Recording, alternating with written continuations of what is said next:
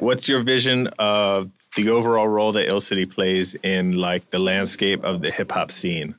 Right? Where's where do they leave their mark? So we represent Jersey. We represent Jersey. We represent Jersey hip hop.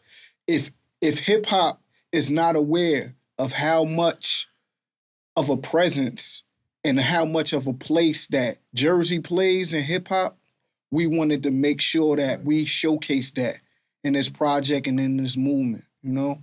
You know, talking about the role that it plays, I wanted to kind of get everybody's opinion on um, like a this or that, who, as far as a personal preference Mm-hmm. on Jersey artists or, Right. or groups comparatively. Right. So the first one is uh, Lauryn Hill versus Queen Latifah. Shit. if I have to pick one, I'm gonna pick Queen Latifah. I'm, I'm gonna just say why. The reason why I'm gonna pick Queen is because she has multiple projects that are hip hop. Mm. I only recognize Lauryn Hill for one solo project, which actually has numerous amount of music on there that's R&B. So Mm. not only that, she nine times out of ten, if you ask her, is going to say one of the artists that she looks up to as a female MC is Queen Latifah. Mhm. So I'm I'm going to run with the Queen on that. one. Uh, you went real technical on that. so uh, who agrees with Reek? Yeah, the Yeah. is free. Okay. We got- Queen Latifah got that one. All right, next one. Uh, Redman versus Joe Budden. Man, man, That's- man, that's- man, that's- man. that's- I'm saying, like- It's Oh, preference, though. oh, Sometimes it's preference.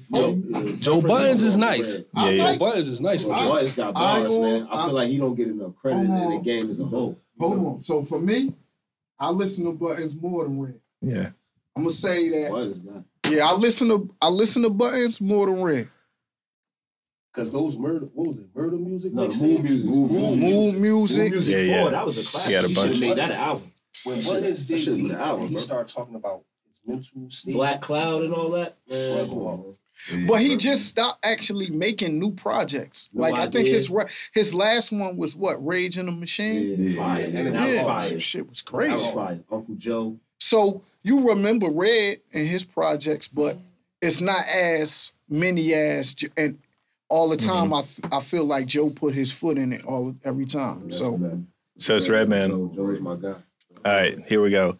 Naughty by Nature or Fugees? Oh no. yeah, naughty by nature.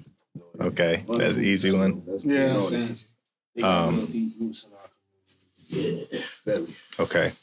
I imagine you guys go pretty deep in, um, you know, somewhat of underground. So we got the Outsidaz versus Artifacts.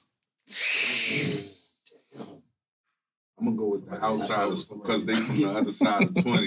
So. Okay. the Outsidaz. All right, the neighbors. Yeah. Reek's in deep thought right now. Yeah, as, as I if I was on Drink Champs, I'd take a shot. Mm-hmm. It's a tough one, right? I'll say the Outsidaz. I was a big fan of a lot of their old stuff. It's a preference thing. For me, I I've I like the artifacts and I've listened to them a lot, but the nightlife EP from Outsidaz, I've listened to mm-hmm. countless times. Right. Countless times. Right, right, right. It's a hard. It's a hard. It's a preference. Like so I'm gonna I'm gonna stay to the side. Okay. All right, last one here.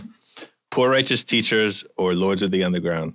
Lords, That was an easy oh, one. unanimous decision. But you can't take away from Poor I'm Righteous not. Teachers, right? Right. I love Poor They're Righteous. I was incredible. about to say We might the be rip. we You might be said Lord. biased. Yeah. I wasn't even gonna give you a chance. I was gonna say Poor Righteous Teachers. You said Lord, so I was like, Rock this funky joint was hard, but Chief Rocka was crazy. was always